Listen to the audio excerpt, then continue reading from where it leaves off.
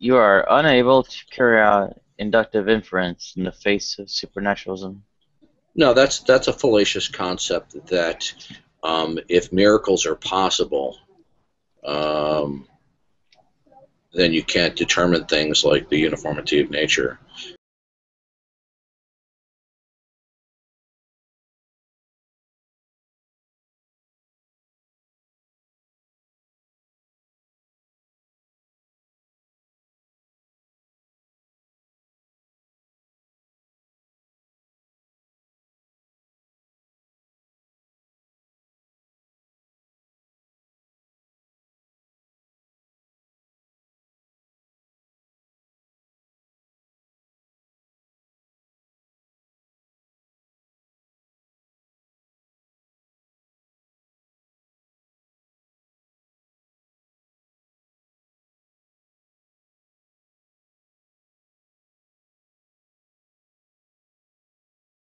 Um, a miracle is not a I get what you're violation of the.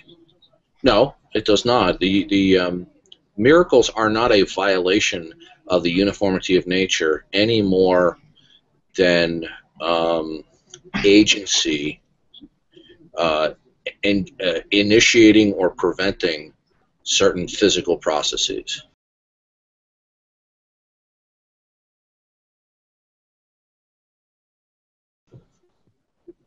All right, then my next question is, if I were to take the uniformity of nature and cause and the law of causality as axiomatic, uh, hold them as properly basic beliefs, if you will, then how is my worldview any more absurd than yours?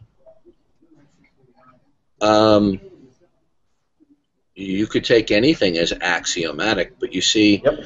um, you would be violating, you would be therefore arbitrary in the things that you believe in. No, so would you. You believe in a big man in the sky controlling shit. No, no, no. I'm not. No, I'm not arbitrary. You see, my starting point, my starting point, is that the the the, the Christian God exists and, and that and that He has revealed Himself. What I'm saying is, um, um, how shall I put this? Um, Right, if I may That put a point light- for you- no, never mind. uh, what was that, Albatross? Uh, I thought you would take a bit longer to find your words. Uh, which Yeah, I don't mean to, I don't mean to be rude, but I'm having trouble understanding you because of the the mic situation. My apologies. Don't worry about it. Please continue. Yeah. Uh, yeah, there's there, there's there's there's no conflict or inconsistencies within the worldview, even with, with the idea of uh, miracles and the laws of physics and chemistry. It's it's a common notion that skeptics have that miracles are a violation of, of natural law. They're not.